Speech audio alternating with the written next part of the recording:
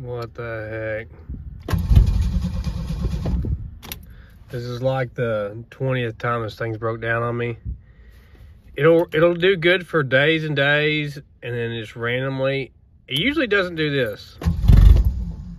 Usually it'll start and run, but it won't run with a flip unless you're at one throttle position and you can make it home with it. But every now and then it will not start for me. So I don't know what to do. I'm stuck at work.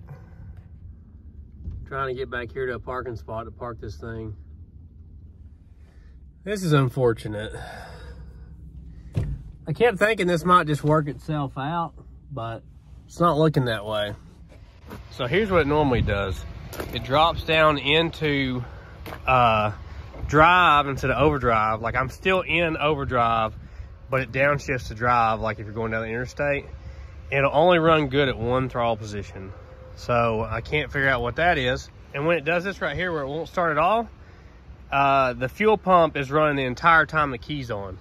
So I don't know what kind of wiring sensor nightmare that is, but uh, I don't know. Maybe one of you guys know. Maybe it's an easy fix.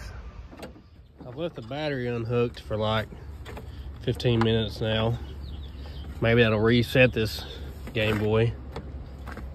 I don't know. That's what it does. Hear the pump?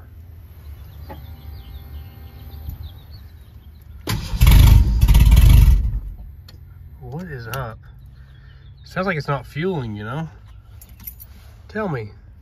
So if any of you guys that are turbo coupe junkies know why a car would drop out of overdrive into third and only run right at one throttle position and then sometimes just you know run the fuel pump anytime the key's on and then start and die start and die i even tried holding the key on just a little to see if it was ignition switch issue didn't seem to affect anything it still died so any help would be appreciated please let me know what's wrong with my car i don't want to have to ride in here anymore Oh my lord!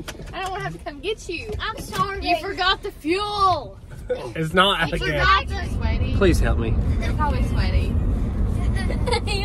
Any help would be appreciated